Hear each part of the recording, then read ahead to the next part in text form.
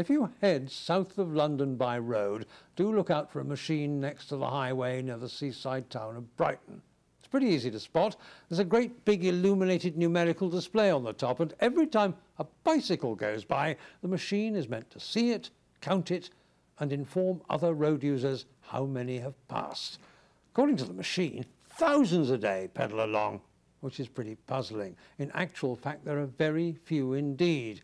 You see, this piece of publicly funded gadgetry is quite unable to tell the difference between bicycles, trucks, cows, dogs, even small children.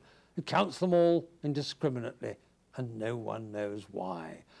Nor has anybody got the foggiest idea what conceivable use it would be, even if the damn thing worked. But it was put up by the local council, and local council taxpayers had to pay for it. They also had to pay to take Mrs. Christine Foreman to court. Now, she doesn't ride a bicycle, but she's very fond of pigeons.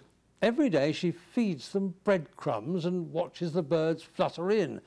It's a harmless enough pursuit for a lady nearing retirement, you would think, but her council in Croydon to the south of London said Mrs. Foreman's actions had turned people's lives into living hell. Now the poor lady has been fined $12,000 and she could go to jail if she so much as smiles at a pigeon ever again. Both these crazy stories represent the way that tax-funded organisations in this country can waste our money. The British government is putting the squeeze on now, and a little commercial common sense could be on the way.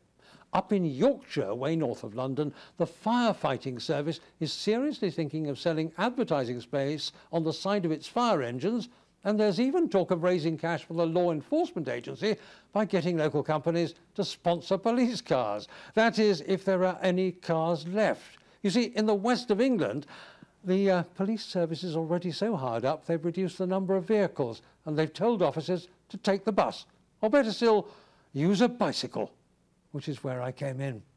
This is Ed Boyle for CBS News in London.